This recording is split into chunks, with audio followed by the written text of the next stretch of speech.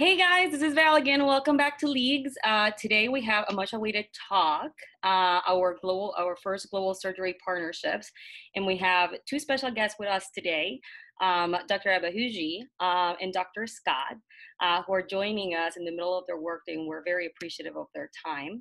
Uh, Dr. Egide Abahuje is a general surgeon and a lecturer of surgery at the University of Rwanda. He completed his general surgery training at the University of Rwanda in 2016, and thereafter he completed a research fellowship in simulation and medical education at uh, the Brigham and Women's Hospital, uh, that little known institution. Uh, and then, because that wasn't enough, he completed a master's degree in health professions education at the MGH Institute of Health Professions. Dr. Abahuje's research focuses on non-technical skills for surgeons, not uh, patient safety, and global surgery. And he's interested in exploring effective strategies um, for training care teams in low and middle income countries. And Dr. Scott, who is my faculty member, um, is uh, an assistant professor of, surgery, of surgery here at the University of Michigan. He started about a year ago, Dr. Scott plus minus. Um, he received his BA degree in biological sciences uh, from Harvard. Uh, he got his uh, medical degree from Vanderbilt and then completed his general surgery training at the Brigham and Women's Hospital in Boston uh, and his fellowship in trauma and surgical critical care uh, at the Harborview Medical Center in Seattle prior to joining mm-hmm. us for his first attending position. Uh, Dr. Scott uh, is a health services researcher and he's also interested in access to care. And he spent two years during his general surgery training uh, doing global surgery work. So today, the both of them are going to uh, tell us a little bit about their journey um, and uh, how did they develop their partnerships and all of the highlights of their work together. Doctors, thank you so much for coming. Thank you. Awesome. Thank you so much for uh, for the chance to be here. Is, is my audio working? Is everybody? Can y'all hear me all right?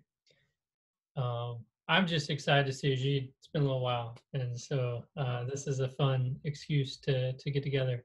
Um, let me see if I can start sharing my slides. So what we had talked about doing, and Egide, correct me if we need to change plans, but I'm going to sort of. What's cool, Egide and I didn't work together exactly a lot, and we sort of I did a little bit, and then he's like made it worldwide, and so that's you'll you'll know he's far more impressive than I am. But I'm gonna tell you my sort of view, my lens, and sort of my first start to the story, and then I'll stop, and then Egide will pick up where I leave off, and then uh, we'd like to have some time at the end to to talk through some questions and um, kind of give you our perspective. Uh, let me get this screen share going. And I don't exactly know what happens when I go to presenter mode. That's not the right slide, but now you know a lot of people showed up at one point. uh, but I don't see your notes if you have any notes. I just see the slides, so you're good That's to go. Good. I don't. I don't have notes. That that takes, you know, a lot of a lot of organization there. Um, so this is just sort of my, okay, y'all, y'all got a title slide, is that working? Yep. Okay, You're good to go.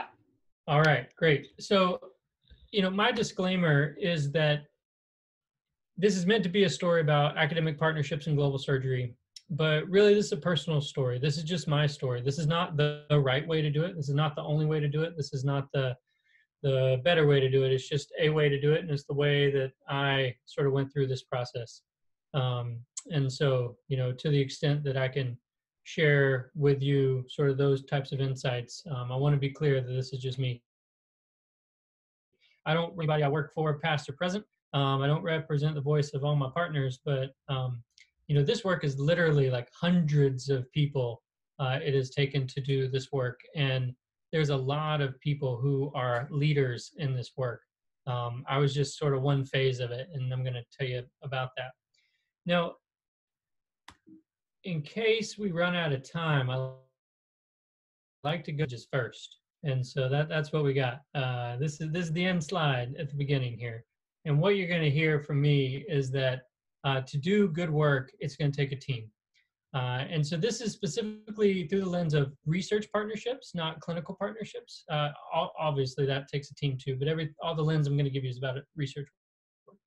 And you know, a lot of folks talk about interested in global surgery, but uh, you know, Egide, you know, what, what is what we call global surgery when I'm operating in Rwanda, in Rwanda, it's just called surgery. Uh, and, and I think that we sometimes do ourselves a disservice making global surgery so other. Uh, the whole point of this work is about like understanding the unique context, but it's not other. It's just it's just the good work you should do in Detroit, that you should do in Ann Arbor, that you should do in Boston, you should do in Kigali. Um, and context matters a lot wherever you are, and methods matter wherever you are. And it doesn't matter where you're at, you should be working at this the state of the science, like pushing yourself to not say, well, this is good enough because you know it's South Carolina and, and that's all we can do. I'm from South Carolina, I can say things like that. Uh, but rather saying, okay, we have a data problem. We don't have enough data. So how do you deal with missing data? There's a way to deal with it. And what's the state of the science? How can we push the envelope and uh, really try to do great work? Um, and then it, it starts and ends with partnerships. Uh, I don't really know that I'll ever be culturally competent anywhere, uh, uh, the U.S. included, but hopefully I can I can uh, develop some cultural humility, and, and, that's something we should all sort of strive to. Uh, so so that's it. That's the talk. But I'm gonna buzz through sort of my experience. When we talk about what makes a good surgeon, you hear a lot of things. There's a lot of things about how you handle your tissues and how you make decisions and are you a good leader and, and how you plan ahead. And and really you can sort of uh, cluster them into you know technical things and non-technical things. And it's not that you know being a good leader matters more than being good at suturing. You have to have both but you can't be just good at throwing your knots you have to be excellent at both technical skills and non-technical skills and we know this because so much of error that happens in the operating room it's problems of perception it's problems of communication it's problem of sort of situation awareness. When you cut the bile duct, you didn't say, "Oh, I meant to cut here and I cut there." It's you thought it was the cystic duct and it was the bile duct. And so that's not a technical problem. That's a cognition problem. That's a different type of skill. And so we know that non-technical skills are really important because when you try to get better outcomes and try to look at what your outcomes are going to be, you know that the inputs. Some people are focused on improving the patient inputs and and and uh, you know the type of procedure and things like that the surgeons, this is where we're going to focus. We have technical skill, we have cognitive skill, we have social skill. We spend a lot of time teaching technical skills. We spend very little time teaching cognitive skills and social skills for the operating room. But with that, you reduce your chance of an error and then you have better outcomes. So if non-technical skills are so important, then how do we like put them into words? How do we teach it? How do we discuss it? How do we get better at it? And uh, up until 2000, uh, up until about my third year residency, I had never heard of non-technical skills or how to get better at them. So there's this uh, curriculum that was developed back in the early 2000s by a guy named Steve Yule and his partners uh, out of Scotland. And uh, they developed a training curriculum for non-technical skills for surgeons. And they defined non-technical skills as the behavioral things that you know underpin excellent performance and their cognitive skills, situation awareness, decision making, their social skills, communication, teamwork, leadership. And that's good because the operating room is a pretty complex place. Uh, you know, this is just the view from the anesthesiologist, and there's a lot going on there. And so if you're not anticipating, if you're not communicating, there's a whole lot of ways that they and so uh, the first visit I, I ever made to Rwanda I was just getting introduced to these ideas. And the first visit I ever made to Rwanda, uh, Dr. George uh, Ntakiyiruta was or was the head of surgery, and he gave this presentation. And what you'll see on that screen is non-technical skills for surgeons. I said, get out of here. I come all the way to Kigali, and I'm gonna like finally get taught non-technical skills for surgeons. And uh, Dr. George had been exposed to the curriculum in Scotland and was talking through these important skills for high performance in surgery. So the question came, what about Rwanda? What about non-technical skills? If I'm operating in Rwanda or she's operating in Rwanda, um, what's different? Uh, what's different about the context? You know, you see the operating room there. It's, it's a little different than the other operating room we saw. But actually, sometimes it's a lot different than the other operating room we saw because there's a lot of different variables that you have to uh, hold into consideration. And so the question is, how does context influence uh, high performance in surgery? And if you don't want to wait for new technology, you don't want to invest a whole lot of money in some new machine or some new robot or something like that, what if we just had our surgeons better at their non-technical skills? And and so how does context influence the skills you need and how they're applied? And the answer is context influences it across the board, everywhere. Uh, whether that's how your patients are a little different, um, the technical skills you need may be similar, but the cognitive skills you need are going to be a little different. Um, the the likelihood of error is going to be different depending where you are, and and what it means to have good outcomes is going to change.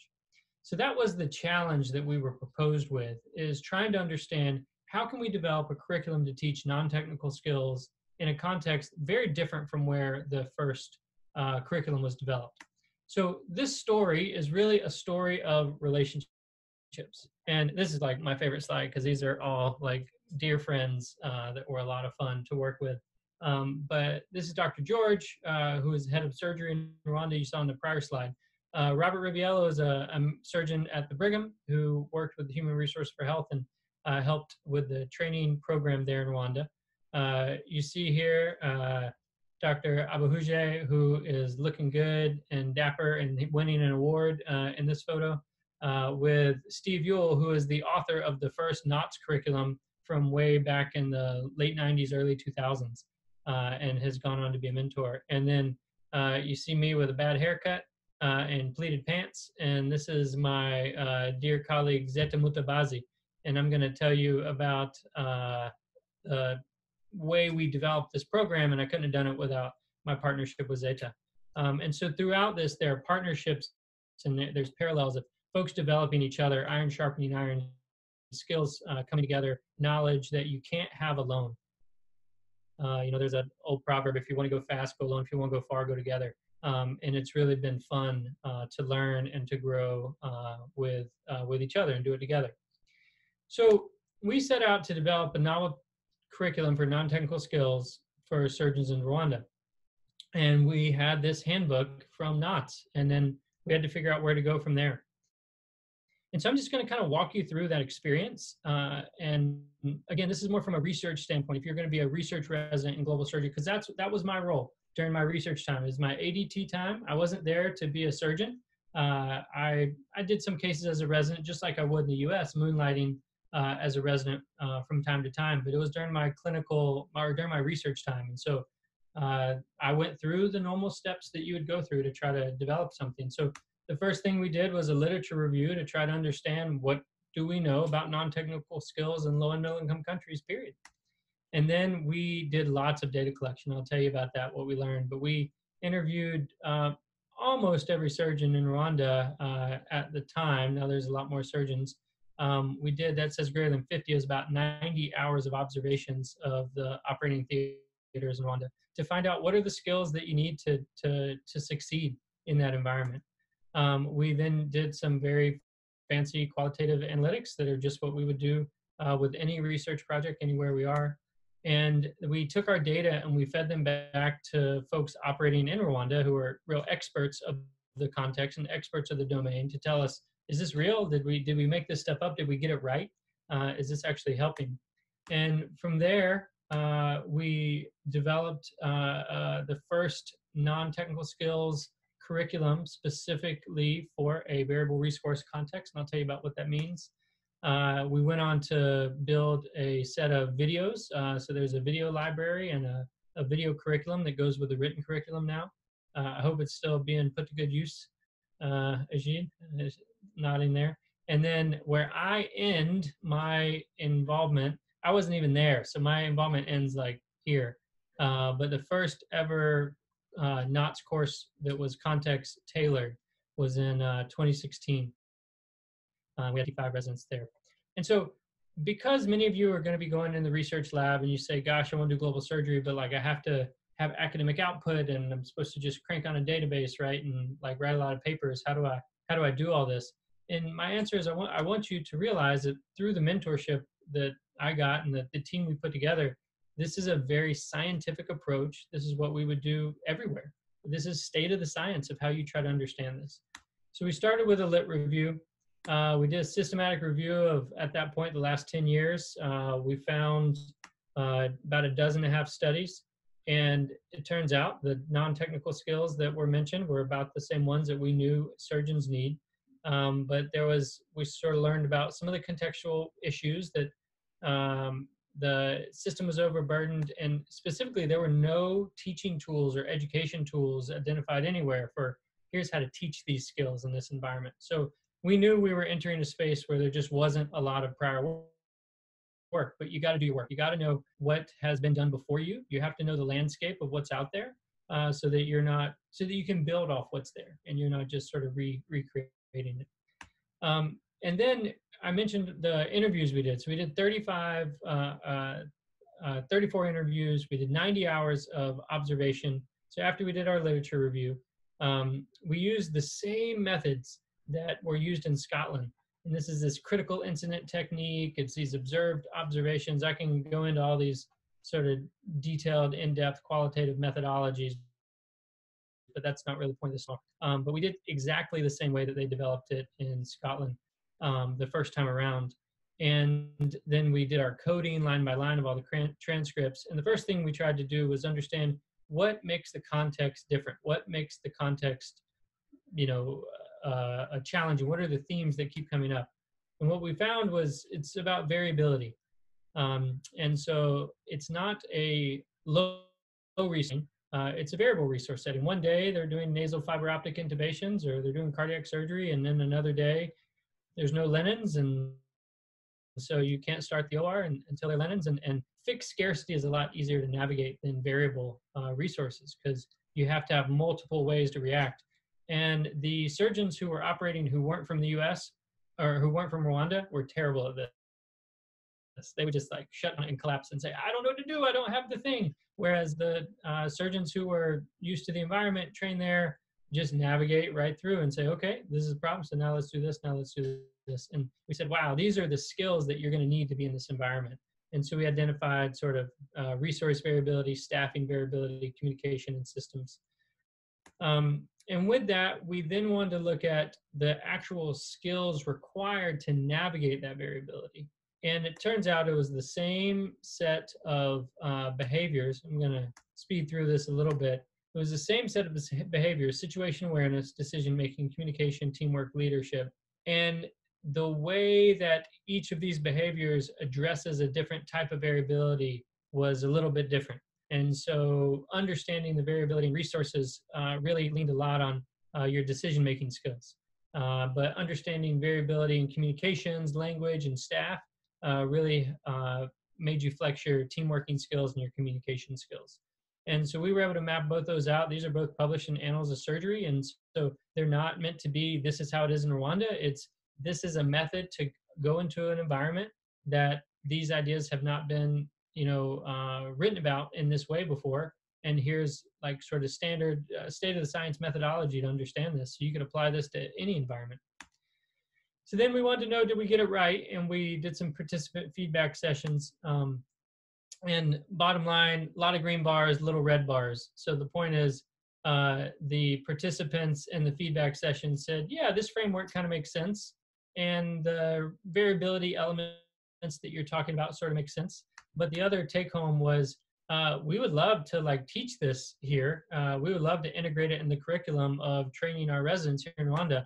But like those videos that you have from Scotland are like kind of terrible. Like they don't really teach whatever you're trying to teach i don't get it because you're talking about stuff that doesn't make sense. Those are not our patients. Those are not our procedures. Those are not our issues. And so uh, it's a cool idea but the curriculum that exists right now is not really speaking to our experience. If you want us to be expert in in our context then you need to you know maybe find a little better way. And so that's where we move on to the curriculum development. Now one of the take homes you heard is teamwork makes a dream work. Uh, uh, Yihan Lin took over after me, and she really led the development of uh, of the curriculum building. And actually, this Chen right here is uh, Dr. Abahuje. Uh, Chen got edited out. Sorry about that. Um, and uh, then there were other residents and other students that just took this work and grew, grew, grew, grew. And so beyond this point, I was back clinical. I had to go back to my uh, my residency job, and I said, you know, gosh, this is just getting started. It's just getting fun. We're just turning this into a real thing. Um, but that was my that was my contribution to make and my role to have. Uh, and then uh, some other teammates uh, helped really push it forward. And so in 2017, we made the first uh, full curriculum. Uh, Egide will be able to tell us if we have version two yet, um, but this one is uh, is pretty good, um, and it outlines the behaviors and and how to rate uh, people's skills and how to teach them and how to improve them, and and uh, it's just like the same one that was developed in Scotland, um, but this one is based on primary data, primary literature, best methodology to try to understand these challenges, uh, and then finally, uh, I did get to go back for what was a ton of fun. The Kwetu Film Institute here is in Kigali, and these are super bright, super creative uh, film students. And we came to them and we said, see these videos that are really kind of crummy and don't tell the story we're trying to tell. Can you help us build videos uh, and film videos that tell the story to be a part of this curriculum? And so now there are multiple teaching videos uh, that are all a part of the Rwandan curriculum. And uh, it was a ton of fun. So this is the um, a lot of the, the film students here uh, and a couple of the actors. Uh, and that's yeah, Yihan here. And I, I made it back to Rwanda for this one because it was too much fun that I, I think I was on my spring break or something, but made a, made a quick trip back. But we set up a bunch of different camera angles. And I mean, it was just, it was so cool to see it really come to life. Um, I think I have a snippet of one of the videos here. Uh, let's see if the audio works on Zoom. Can y'all hear that? Yeah, we can hear it.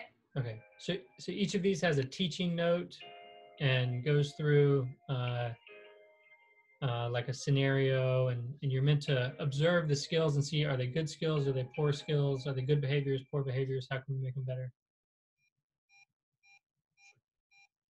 I put the retractor there. Okay. Okay, I, I need parts. I need to pack. There is a bleeding. Yes, Pack that's there. It's breathing. We need to plug. Ever Yeah, we need to pack. Okay. Young We lift attention. that. You see? Okay, there is a bleeding there over the the liver. So uh, give me the bovie. I want to see if I can just stop this bleeding. Live is ready. Son, include your son. Live. So that is uh we we could dissect that later. Not a lot of good communication happening there. Uh, got some folks folks speaking French, some speaking English, not, not speaking. Uh, and it, it goes on and on and on. And, and there's some um, fun uh, videos there. But that was so cool that the film students from the Kwetu Film Institute like made those. It's just incredible, very inspiring, very creative, uh, awesome graphic design. And then finally, uh, I missed the first NOTSS masterclass uh, but Egide can tell us a lot more about the first and the many more beyond that. Um, but there were 55 students uh, in the class, uh, and uh, there's uh, Egide uh, looking looking dapper as always. And um, it was the first time that the context-specific curriculum had been taught, um, and yet we used that opportunity to get feedback. And and so we said, well, like, tell us, did it work? Like, what what do you think? And then we we assess the feedback and we, we use a qualitative methodology to understand how can we make it better how, what can we do different and uh, the answers were you know include more than just surgeons and the answers were like we should do this more often and uh, we were happy to see that people thought the videos were realistic and, and well suited so um, i'm done uh, yammering about that again this goes back to those take homes i hope what you've seen through this is this was a big team of a lot of people. Um, it was, you know, qualitative methods, state of the science, uh, really ad- addressing as we go, trying to get feedback throughout the whole time. But it took a huge team to do it, um, and we didn't make it different because it was Rwanda. We did the same thing we would do in the U.S. We did the same thing we would do here at Michigan. Uh, is is we used the best metho- methodologies that we could uh, to try to understand how to make this work better. Um, and uh, in the end, really it was these partnerships that made it um, a success up to that point. And that would be pretty cool. We got some papers out of it. We had like little kumbaya session, and people gave us like you know four stars on Yelp, and and everybody was happy. And you could just fold your hands and say, you know, I had a good time. I did a thing. Isn't that great? but that's not where the story ends because if the story ended there it would be actually a pretty sad story uh, and so now i'm going to be quiet and let dr uh, Abahuje take over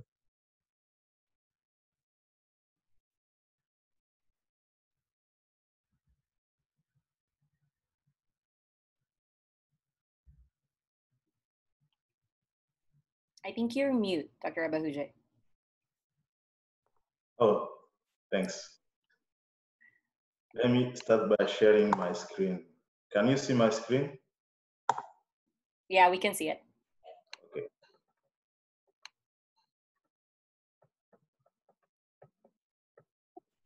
So uh, thank you uh, very much, John, because uh, what you did was the foundation of this work, and you did it well so that we who followed you have been pleased to walk into your uh, footstep.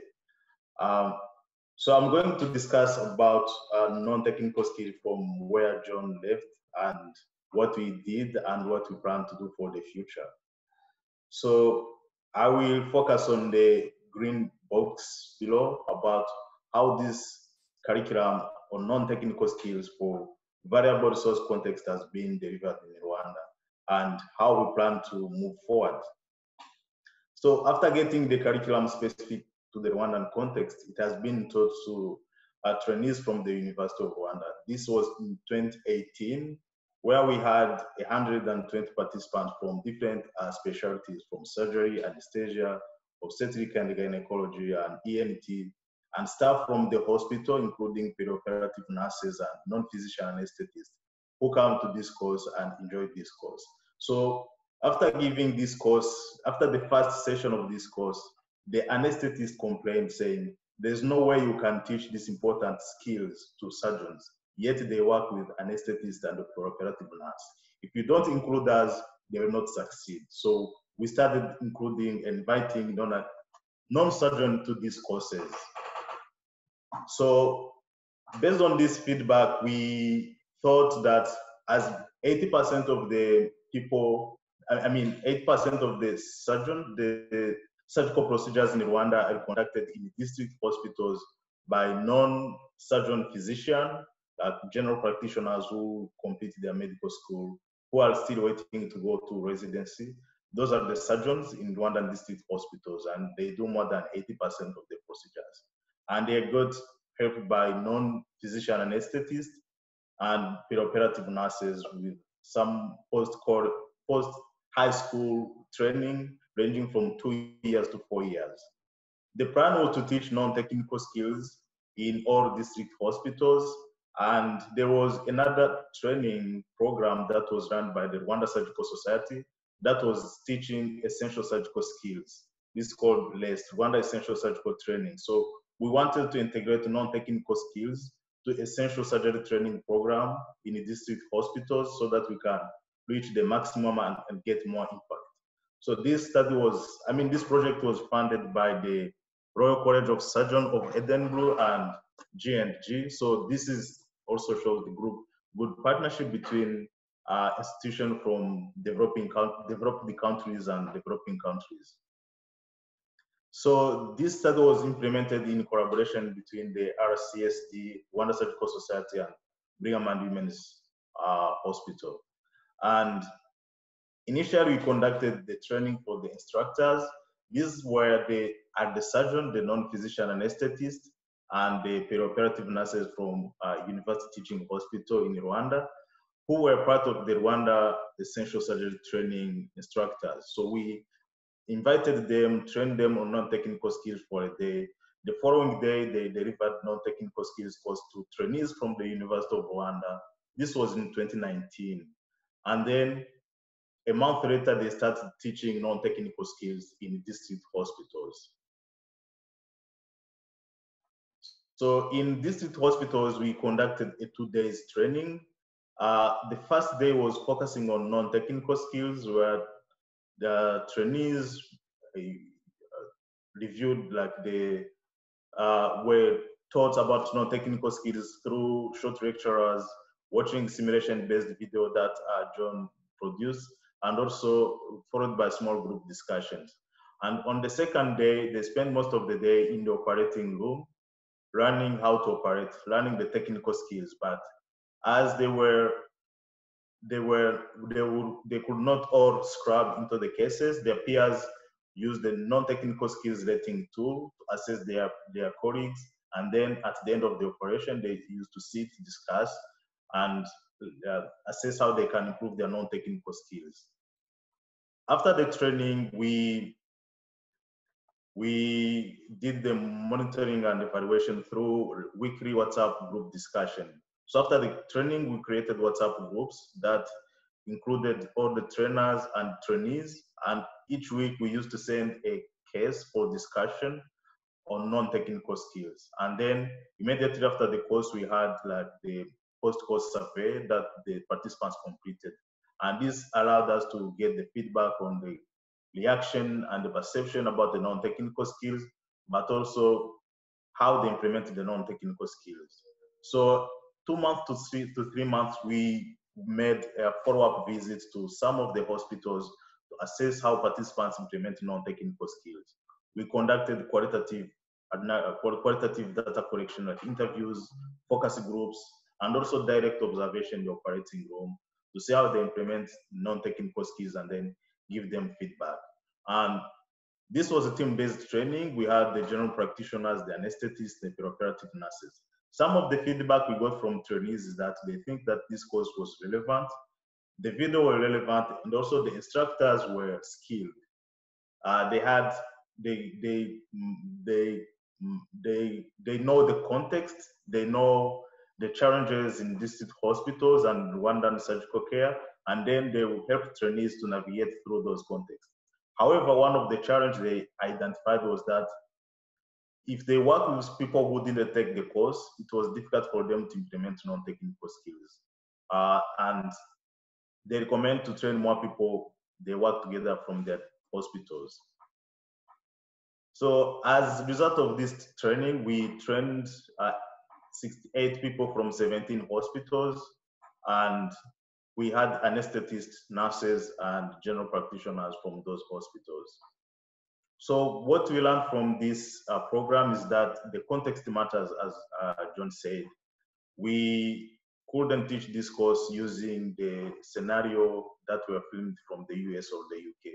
The Rwandan video, the Rwandan videos were much relevant and they were engaging uh, participants. And it is important to train teams because, as you know, the surgeon or the doctors and the nurses and the anesthetists, they go through different schools and yet they have to work together. If you want to train them to improve their performance skills, it's better to train them as a team. And also empowerment. One of the challenges they mentioned is that the power differences. A nurse in the district hospitals or an anesthetist is not um, empowered to speak up when he sees like a doctor is about to make a mistake or to ask him any question related to the patient. But if they work with someone who took the course, they were they feel empowered to speak up and optimize patient safety. The human factors are also important. It's important to understand how the human, the institution, and the system interact to, to improve the safety culture. So future directions, so we got the ask from the College of Surgeons of Central, East, and Southern Africa. This is a, a training and credentialing college for 12 or 13 countries in Africa.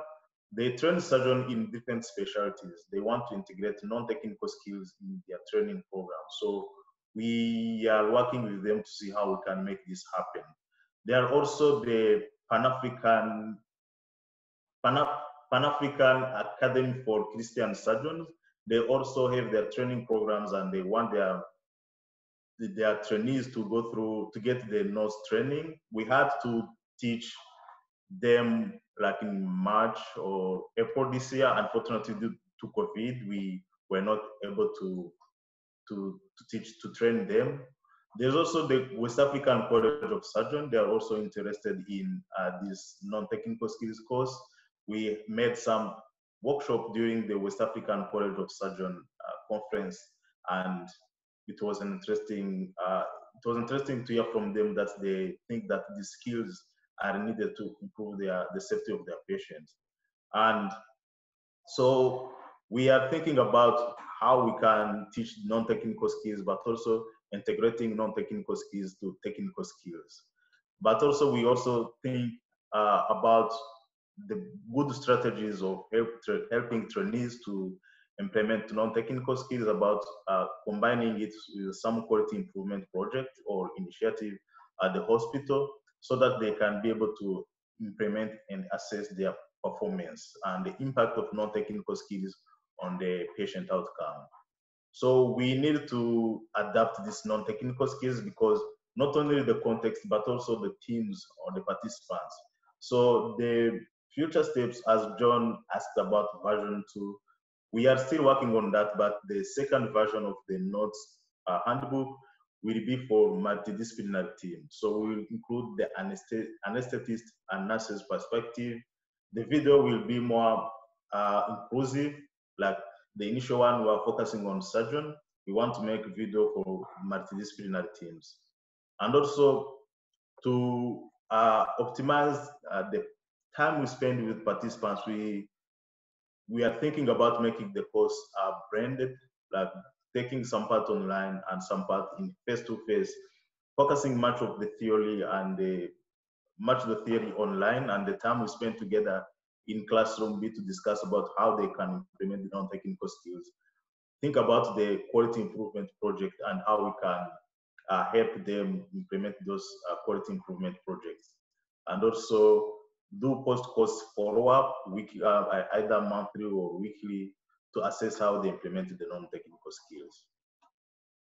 So what what I think about this, uh, my reflection about this program is that um, this has been successful due to a strong partnership between uh, uh, strong people, strong leaders, strong academicians, and if you want to make a sustain a successful partnership, we have to focus on sustainability. So initially, you have to solve local problems. So if you go, if you want to participate in uh, global surgery, you should understand the local context and the local problem they have and help them solve those problems. Egide, Yes. can you click on that slide, number 14, because I think it's not showing up full screen, at least on my screen. Is it, is So it- is it too good not to see? do you see it? I do not. Oh, Do others? I see the very first slide. you don't see this slide. I just see slide 11, NOTSS rest impact. Same. There you go. There you go. Okay. So if you want to build strong global health or global surgery partnership, you should focus on uh, sustainability. So sustainability starts with solving local and real problems, not your problems. Sometimes people go with their own problems that they want to, to, to solve and they forget the people they work with. So discuss with partners, identify and understand their problems, and then get solution to those problems. You have also to involve the leaders because, as John has said, Dr. George, who was the former chair of surgery at my university, he was a strong leader who knew what was needed and then influenced other people to buy in and get involved in that uh, partnership. So we had uh, strong leaders from both sides, from Rwanda, from US, and from UK, who were leading this uh, partnership.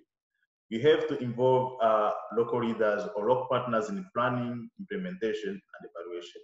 So during this, the literature review, during the uh, the systematic review, and also the qualitative research that uh, John led, all the local partners like Dr. George, uh, Zeta, were part of the team. And even during the publication, sometimes the local partners contribute in implementation, but when it is about evaluation and publication, they got left behind. That is not fair. If you want to build a strong uh, global surgery partnership, you should focus on what is done after you've left, not, not is done while you are here, or what you do while you are there. So you should focus on capacity building because if uh, that was not the case, the program would ended with John. But after him, there were other fellows kept coming, and then I got the opportunity to contribute. And I think that after me, there will be other people who will keep uh, this partnership going. You should focus on quality, not quantity. Sometimes people think that they count numbers to demonstrate what they've done or they achieved. But when you see really what the work they did, you find that there's nothing that contribute to the well-being of uh, local people. And you should focus on patients, not healthcare providers. Sometimes we, it's more likely in clinical care where we treat our problems, not the problems of the patient. Sometimes we provide care and leave patient with major problems that they had before getting care. So you should think about the patient and not the, the healthcare providers. So focus on the agenda of the patient, not agenda of the healthcare providers. So we should provide equity. Equity is in relation to context assessment because you should provide each institution or everyone what he needs to perform well. Not everyone, not every institution needs the same thing. You should understand this context to provide what the institution and the people needs to optimize to, to perform well. And you always be ethical, either clinically or scientifically, be ethical. Don't do what you were not credentialed to do at home institution. And in case you are in dilemma or you are in challenging solution, consult your peers, your local partners. They know how to navigate through this the system and they can help you find the solution. Uh, thank you very much. And I think we have time for question and answers.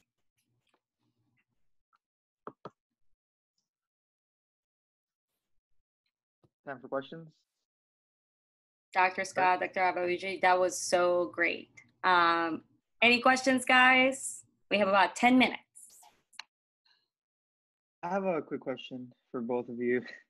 Um, so, so you both talked that like you know you need to have that balance between between like having this this motivation you know to to, to make this difference in, in global surgery and then uh, also being able to communicate with with the with the locals so that you so that whatever you do is is useful and sustainable right? The partnership. So so like do you have any advice about about about like creating this balance you know? Because some people just just leave you know because they want to make a difference eh, but then when they get there maybe they don't have the resources to do that. So like like what does it take to kind of find that balance between developing the partnerships and then you know having the the, the idea or the desire to, to make a difference do you want to go first, John? Sure, sure.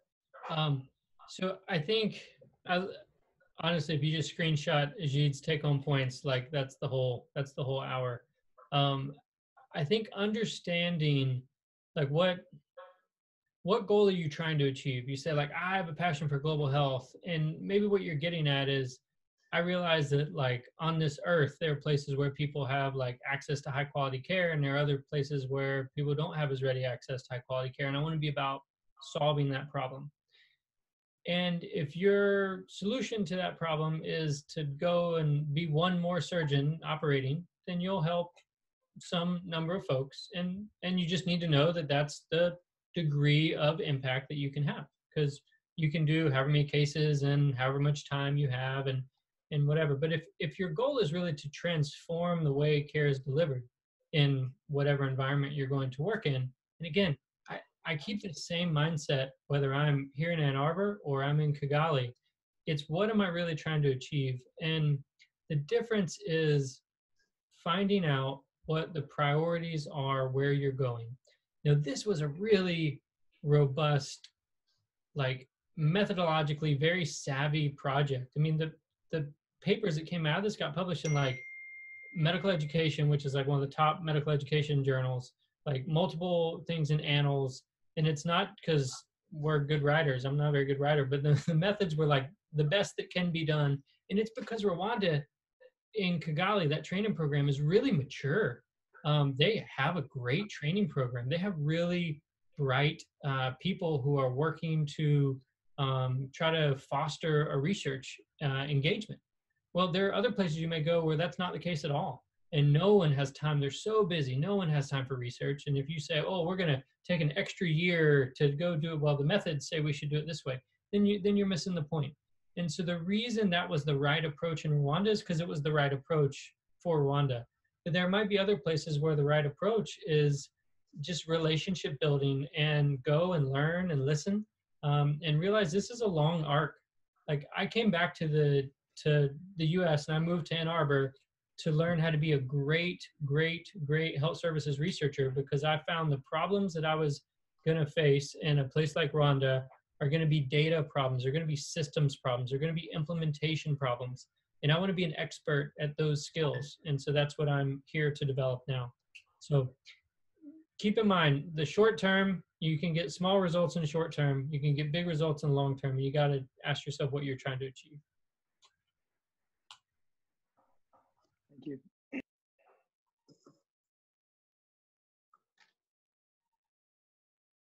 Yeah, thanks. I think John said it well. You need to understand the priorities of the your partners and see how you can contribute to those priorities.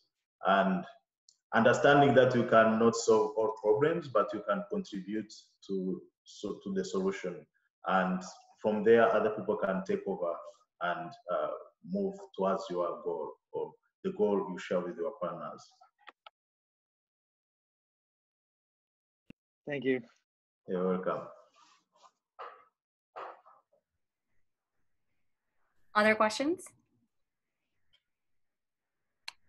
Um, I was wondering if you could talk a little bit about what experience um, both of you had in surgical education or medical education prior to taking this project on, and like how that informed um, what you did, and you know maybe if this was a new area for you, um, you know how you how you tackled informing yourself so that you could um, do the best possible job to make an impact. Thank you. I think in terms of surgical education, like before, when John and Steve Yule came to CHUK, I mean, at our hospital to talk about non-technical skills, I didn't have, I didn't know what it was, and I got to know it after getting to it the second time, and I think maybe these are the skills we need that we don't learn, that we don't teach. And before I didn't plan to get a career in non-technical skills or uh, simulation and so on. But after getting exposure to the to the non-technical skill, I found that we we need more we need non-technical skills as we need technical skills, and we don't have expertise in teaching non-technical skills. So I decided maybe let me take this career and see how I can contribute to improving patient safety through non-technical skills education.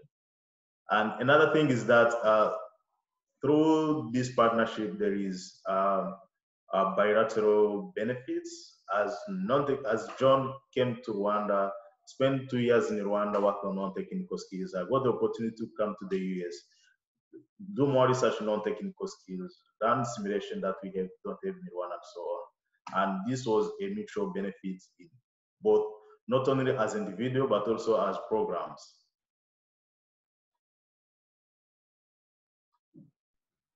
Yeah, I think you ask like it's such a great question because it yeah, I sound like um I'm on repeat over and over. If you're in your academic development time, you're in your research time. Uh, you know, Val's just getting started. Uh, Alicia's just getting started. So do you like have expertise in health services research or implementation science. No, you get great mentorship. And like, I didn't know how to do qualitative methods, but I knew I was going to do this project. And I had a great mentor in Steve Yule, and he said, go get the skills you need to do this before you get there. And so I was, I got an MPH the year prior to moving to Rwanda.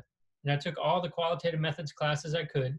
I piloted the methods as my homework for my MPH classes I did observations and interviews of US surgeons just to like hone the techniques and get better at the skills so that when I was doing it in Rwanda, I like had expert feedback from my professors and from Steve and from my mentors uh, so that when I got to do the work, I, I was acting as a research resident doing what a research resident would.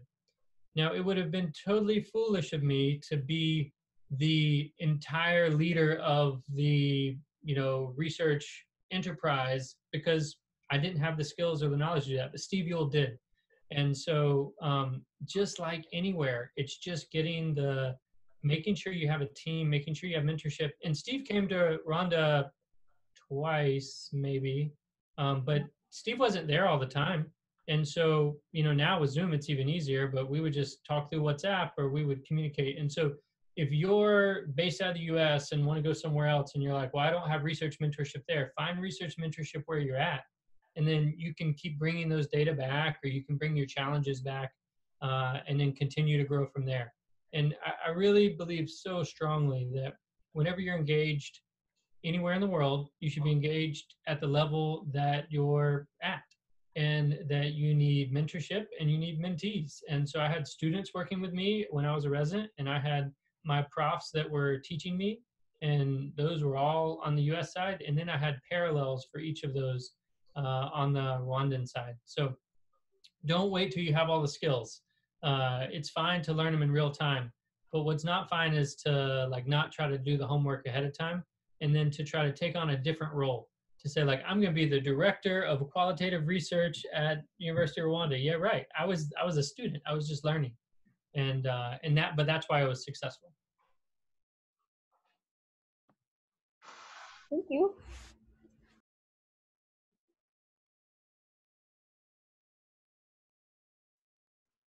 Other questions?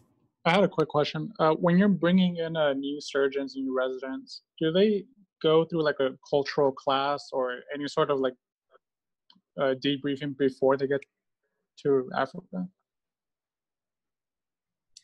Um, this is a great question. I think different organizations handle this very differently, um, even from the vocabulary that's used uh, to the role that you're going to play to understanding the context of where you're at and understanding the relationship dynamics. I mean, heck, if you just go to a different hospital in the US that's a different hospital than the one you've been training at, people are like, well, that's not the way we do things around here. And so, you know, all the humility that you need to be new uh, exists everywhere.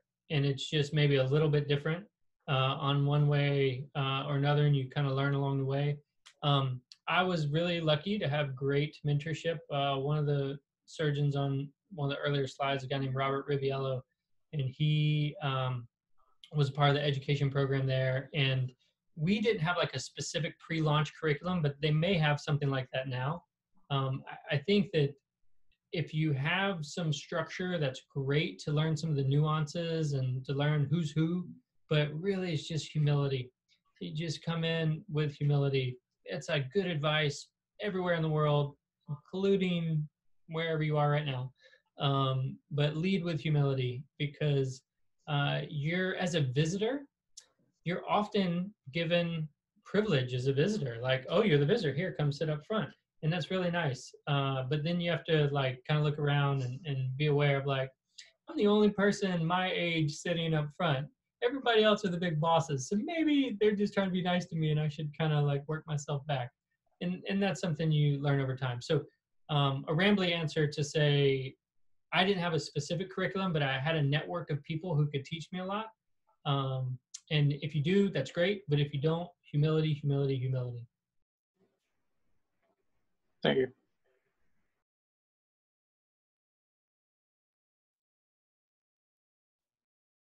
Any other questions, guys?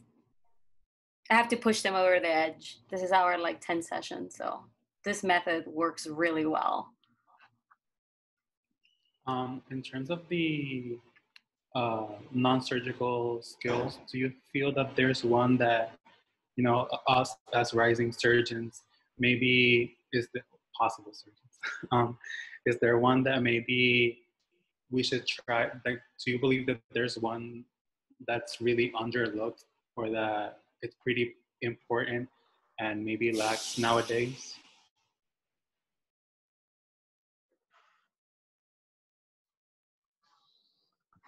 Egide, what's the most important non-technical skill, Egide? Uh, so I wouldn't say that there was there is a most important non-technical skills on my side, but uh, based on the interaction I had with the participants who took the course through the interviews and the focus group, when you discuss with them about the non-technical skills and how they apply them and so on, the thing that comes up immediately is communication and teamwork. So I think I don't know if that is the skills that they don't apply or they think is most important, or if it is the those are the skills that they um, they still remember about among all, all the skills they took from they learned from the non-technical skills. But I think most of the topics that comes in when want to discuss about non-technical skills are communication and teamwork. So, but also I think other skills are important depending on the context. Sometimes uh, ineffective leadership or ineffective decision making might lead to a, a serious medical error that cannot be prevented by uh, communication, effective communication and teamwork. Yeah, and, and the data support exactly what Egide just said. Um, communication, eh, when we look at errors, it's almost always uh, errors in communication. And it's both in uh, what is said, what is heard. And the biggest problem is when I, I think I communicated something, but the person I communicated to didn't get what I put out there, right? That I mean, of course, that's how communication works. But um, if you take a NOTSS class, you can learn all these little tips and tricks about ways to be a better communicator in the OR.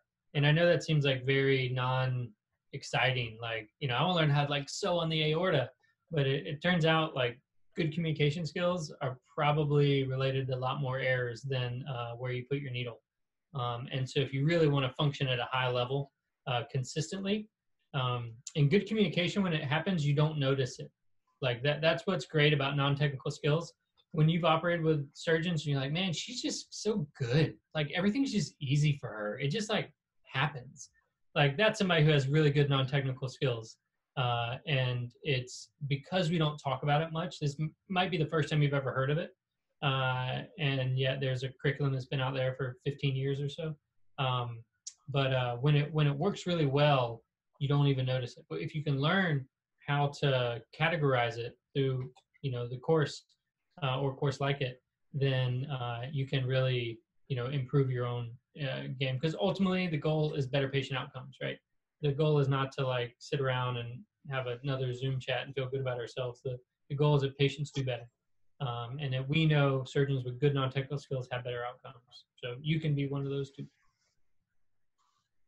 Thank you. Uh, when you were talking about you know operating with someone who like it appeared that everything was easy. I was like, how does she do it? I was like, that's like me asking every time I'm operating with Dr. Coache, like how does she do it? Even when things get really hard. So like that translates. Like sometimes it's hard to translating some of these things in like the context that you're on. Uh, but it like there is definitely like after being introduced to kind of like this con like this this framework and then like paying like two seconds more of attention to some of my attendings and actually senior residents trying to figure out like what's that like what's in the secret sauce for like you making this like you know just taking care of patients both in the OR but also outside like so like like just seamless um and I I can attest I can testify that it does and it's a it's a it's a constant goal of mine to like apply some of these principles now that i'm like a little bit further down the road. Um, and i i have one question. Uh, so how do you see like uh, NOTSS being applied in like us uh, uh, training? We who lack who have much but lack everything at the same time in terms of communicating providing great care to patients I think John can answer that question because I'm not familiar with the US clinical practice. So what was a ton of fun was while we were developing the Rwandan version of NOTSS, they were also in parallel developing the US version of it because it was it's very UK heavy for better or worse. But like when I saw the original course developed from Scotland, some of the language didn't make a ton of sense or some of the references that were like funny to everybody else in the room didn't make any sense to me and uh, it was very apparent that if it was going to be rolled out uh, in the us then it would need context adaptation and so it was really cool that we're like you know we're kind of leading the way in rwanda the us is going to catch up eventually Uh, and so it does exist. There's actually an a, an online version that I think is available through the ACS. Um, and I'll, I can try to find the link, but there is like modules like what Egide was alluding to uh, with videos. I'm actually a terrible, terrible actor as an anesthesiologist in a couple of videos. Uh, because when I was stateside, they're like, "Oh, you should, you know about this. You should be an extra in the video." it's like great. Um, so it exists, but it's just not necessarily in every. There's score modules on it, but you know it's not a focus. Uh, you have to have a local champion. I mean, it it is blowing up in in Rwanda because of Dr. George and because of Egide and because of others who have really really been strong leaders.